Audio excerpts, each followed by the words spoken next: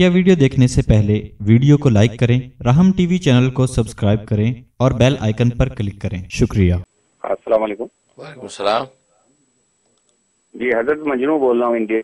जी मजनू माशाल्लाह। हज़रत ये अर्ज़ करना है कि हज़रत इब्ने तैमिया रहमतुल्लाह अलैह ने हज़रत उमर हज़रत अली रज़ी अल्लाह तआला अन्हु के बारे में तनकीद किया करते थे।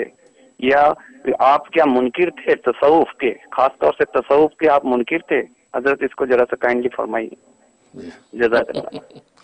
माशाल्लाह, डॉक्टर रफ़ीक साहब, जिनका तखल्लुस या मजनू है तो मैं हमेशा कहा करता अल्लाह ताला इनको अपना जुनून इश्क और अपने हबीब का जुनून इश्क नसीब फरमाए। असल जुनून तो वह है, बाकी जुनून तो दुनिया के जुनून तो पागलपन है। हाँ अल्लाह की मोहब्बत का जुनून नसीब हो जाए, या अल्लाह के हबीब सरकार दोआलम वसल्लम की मोहब्बत का जुनून नसीब हो जाए, इससे बड़ा मजनू कौन हो सकता है? इस पर हज़ार अक्लबंद कुर्बान किए जा सकते हैं। वो जुनून है। तो माशाल्लाह हमारे डॉक्टर रफ़ीक साहब, ये इनको अल्लाह ताला ने हुजूरी का मुकाम फरमा रखा है, रसूलुल्लाह सल्लल्लाहु का तकरीबन रोज़ाना दीदार करते हैं। तो बहुत अल्लाह इनको ऊँचा मुकाम नसीब फरमाया है। अल्लाह इनको जो है खूब बरकतें दे। बाकी इन्होंने कहा कि इबन तैमिया रहीमुल्लाह ताला जो है, वो इबन तैमिया ताला, वो हज़रत उमर, हज़रत अली के बारे में कोई तनकीद किया करते थे कि नहीं भाई ऐसा नहीं है, ये किसी ने ऐसी बात उड़ा दी है ऐसा नहीं है। तो आप जो उन, उन्होंने तो साहब इकराम का जिस अंदाज से दिफा किया है, उसकी तो कोई नज़ीर ही नहीं है। लिहाजा ये बिल्कुल बात जो है वो बेबुनियाद है कि वो ये तनकीद की बात उनकी तरफ़ मनसूब किसी ने की है। और दूसरी बात यह है कि वो तसव्वुफ व सलूक के मुनकर थे, ये जो बात कह रहे हैं, ये बात भी गलत है। असल में जो तसव्वुफ जो इस्लाम से हटकर है, उसके हम और आप सभी मुनकर हैं। जो तसव्वुफ एन इस्लाम है और जो तसव्वुफ एन सुन्नत है, उस तसव्वुफ का हर बंदा कायल है। लिहाजा उनका जो इनकार है, वो उस तसव्वुफ के बारे में है, जो तसव्वुफ, जो जोगियों वाला तसव्वुफ है, जो इस्लाम से हटकर तसव्वुफ है। है, वो तसव मुराद है। वो ज़ाहिर है कि जिसकी सुन्नत में और जो शरीयत के अंदर कोई हकीकत नहीं है, वो तसव मतलूब नहीं है। जैसे आज का जो है, मलंग और फ़कीर कहता है कि जनाब वो थोड़ी पाँच वेले तो साड़ी हर वेले थोड़ी पाँच वेले तो साड़ी हर वेले, ये भी एक तस्वुफ है। अब इस तस्वुफ़ को तसवूफ़ समझना जहालत और बगावत के अलावा क्या है? हैं? मतलब तुम तो पाँच टाइम पढ़ते हो, हम तो हर टाइम ही पढ़ते हैं। ये हर टाइम कौन सी नमाज़ है भाई? हैं? वो तुसी इतने जाके पढ़ो, असी मदीने जाके पढ़ने। यानी यहाँ आज का पीर जो है वो जाहिल पीर क्या कहता है? तुसी मसीदे जाके नमाज़ पढ़ो तो असी जो है वो मदीने जाके साड़ी मदीने होती है। वो मदीने नमाज़ पढ़ता है। तो मतलब नमाज़ ही मदीने होती थोड़ी रोटी मदीने नहीं लभदी? रोटी इतने आके रगड़ दो है, पाँच पाँच रोटियाँ तो छे छे जो पराठे इतने बरियानियाँ कोर कौरमे तो रोटी मदीने वाला नहीं देता मिट्टी रोटी उतने खाओ। है तो खाना पीना तो हिंदुस्तान, पाकिस्तान, है, हगना मूतना इतने तो नमाज़ उथे ये सब जहालत है, ये जो तसव्वुफ है, ये जो है जहालत, ये तसव्वुफ, इसका इनकार जो है, न सिर्फ़ इबन तहमिया बल्कि अहल सुनवल जमात का हर जो आलिम और फाजिल करता है। लेकिन जो तसव्वुफ एन इस्लाम है, जिस तसव्वुफ का ज़िक्र कुरान में है, जिस बेहत इर्शाद का ज़िक्र सुर मुमतना के अंदर मौजूद है जिस बैत का ज़िक्र जो है, वो बैत तरीका ज़िक्र बुखारी, मुस्लिम और अबू दाऊद की हदीसों में है सियासता में। वो तो एन सुन्नत है और वो असलाब में आज तक चला आ रहा है।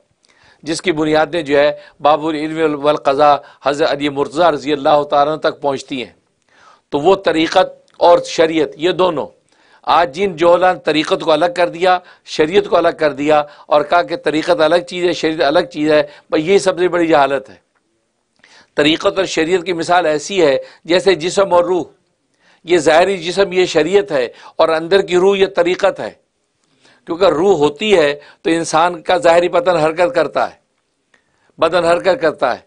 अगर जो है वो अंदर रूह ना हो तो बदन हरकत नहीं कर सकता। तो गोया कि तरीक़त असल में ये वो स्टीम पावर है, वो ताकत है कि जो इंसान के अंदर इबादत की हिम्मत पैदा करती है। जब वो तरीक़त के ज़रिए से दिल को मुजक्कर मुसफ़ा कर लेता है इंसान, रूह को पाक कर लेता है, उसके लिए नमाज़ भी आसान हो जाती है, रोज़ा भी आसान हो जाता है, ज़िक्र अजकार भी आसान हो जाते हैं, तिलावत भी आसान, क्योंकि उसकी रूह की ताकत स्टीम उसको अंदर मिल गई। लेकिन अगर रूह कमज़ोर है, दिल मैला और गंदा है, और रूह जब पाकिज़ा नहीं है तो ज़ाहिर है कि उसका अफेक्ट बदन पर भी पड़ेगा, बदन भी ढीला, ना नमाज़ के लिए तैयार, ना रोज़े के लिए तैयार। इसलिए जो ये तरीक़त और शरीय दोनों जिसम और रूह की तरह एक दूसरे से लगे हुए हैं, दोनों को अलग नहीं किया जा सकता। या दूसरी तरह यूँ समझे, शरीयत कहते हैं रास्ते को। शरीयत रास्ता है, तरीक़त चलने की हिम्मत है। शरीयत रास्ता है, तरीक़त चलने की हिम्मत है। अगर रास्ता हो, चलने की हिम्मत ना हो तो मंजिल नहीं मिलती। और अगर चलने की हिम्मत हो, रास्ता ना हो तो भी आपको मंजिल नहीं मिलती। और अगर रास्ता भी पता नहीं, चलने की हिम्मत भी नहीं, फिर भी आपको मंजिल नहीं मिलती। मंजिल आपको उससे मिलेगी जब चलने की हिम्मत भी हो और रास्ता भी हो। तो शरीयत वो रास्ता है कि जो कुरान सुन्नत का जो हमें दिया, उस रास्ते पे चलने की हिम्मत ये तरीक़त है। ये ला इला के ज़रबे जो लगाते हैं, खुदा का ताल्लुक जो अपने अंदर पैदा करते हैं, वो अपने अंदर वो स्टीम ताकत, हिम्मत पैदा करते हैं उस रास्ते पे चलने की। जब वो पैदा हो जाती है, अब उस पर चल के मंजिल मिलती है और मंजिल पे कौन है? खुदा आगे बैठा है। खुद खुदा कहते इस रास्ते पे चलोगे, आगे मैं हूँ। खुदा मिल जाता है। इसलिए जो है, वो इबन तैमिया रहमत जैसे लोग जो हैं, ये असल में इस किस्म का जो तसवुफ़ है, कि जो तसवुफ़ कुरान सुन्न से टकराता हो, जिसकी कोई हकीकत नहीं है, और जो लोगों ने जो है, बस वही वाली तसवु बना रही थोड़ी पाँच वेले साड़ी हर वेले तो ये इस किस्म के तसवु का इनकार है। वरना तसवु का कोई इनकार कर ही नहीं सकता। इतनी वाज नसूस, इतनी वाज आयात, अहदीस और सल्फ़ साल इनका पूरा जो है, वो एक अमल मौजूद है कि कोई भी तसवुफ़ जो वाकई मशरू और मसरून तसवुफ़ है, उसका इनकार करने की कोई ज़रूरत नहीं कर सकता। अगर किसी में ज़रूरत है तो सामने आए, हम भी देखें कौन शेर का बच्चा है। हम तो सुबह शाम तसवु को साबित करते हैं यहाँ बैठ के। तो कहने का मकसद ये तो लिहाज इबन तैमिया पर यह कहना कि वो इन मुनकर थे। नहीं, उनकी बात को समझा ही नहीं है। समझने वाले बात को अगर समझें तो फिर बात आगे बढ़ती है। लोग रेफरेंस बनाते हैं, बात समझते नहीं, और एक बात उचक के निकल जाते हैं। इसलिए जो इबन तैमिया, रहमतुल्लाह, बड़े आदमी हाँ बाकी बड़ा आदमी जो होता है, बड़े आदमी की कुछ ज़ाती आरा ज़रूर होती है। उसकी अपनी कुछ तहकीक़ात होती हैं। तो इबन तैमिया से में बड़े आदमी हैं, उनकी अपनी भी कुछ आ रहा है। उनकी अपनी जब आ रहा है तो ज़ाहिर है कि एक ज़ाती आरा जो होती है, वो आम हालात में उसको जो है अडॉप्ट नहीं किया जाता। वो आप जी जाती, आपका ज़ाती opinion this my personal opinion ठीक है, आपका पर्सनल ओपिनियन है, हम रिस्पेक्ट करते हैं, इज़्ज़त देते हैं। लेकिन हम अमल नहीं कर सकते अमल उमूमी कायदे पर होगा। जो उमूमी कायदा उस पर अमल होगा। तो इबन तैमिया बड़े, इतने बड़े आदमी हैं, इल्म फजल का पहाड़ है। इवन अलामा नफशा कश्मीरी, रहमतुल्लाह के सौ, हज़ार साल में ऐसा मुहदस पैदा नहीं हुआ। लाखों हदीसों का हाफिज, और दालम देवबंद का ऐसा बड़ा शेखुल हदीस कि उसकी कोई नज़ीर नहीं। वो फरमाते हैं, वो फरमाते इबन तैमिया रहमत बहुत बड़े आदमी हैं। और इबन तैमिया रहमत ईसाल सवाब के मसले पर गुफ्तु करते हैं। ईसाल सवाब जिसको उसके मसले पर गुफ्तु करते हैं तवसल के मसले पर गुफ्तु करते हैं, वसीला पकड़ने की वो इजाज़त नहीं देते। तो इन मसाइल पर गुफ्तु करते हैं, लेकिन अलामा अनवशा कश्मीरी को कम बड़े आदमी नहीं है।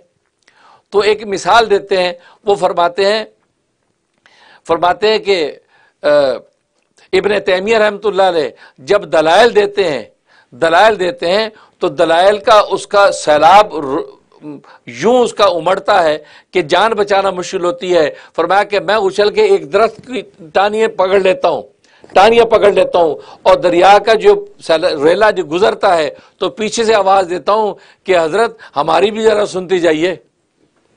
हमारी भी ज़रा सुनते जाइए। मतलब हमारे पास भी दलाइल है, हमको दलाइल से खाली नहीं है, लेकिन आपका दलाल का रेला यूँ गुजरता है, एक दफ़ा को हलचल मिट जाती है। लेकिन जब गुजर जाता है तो हज़रत फरमाते हैं, हम वो दरख्त से अपने आप को थाम लेते हैं और फिर आवाज़ देते हैं, हज़रत, हमारी भी सुनते जाइए। मतलब हम भी दलाल से खाली नहीं है, ये कहने का मकसद।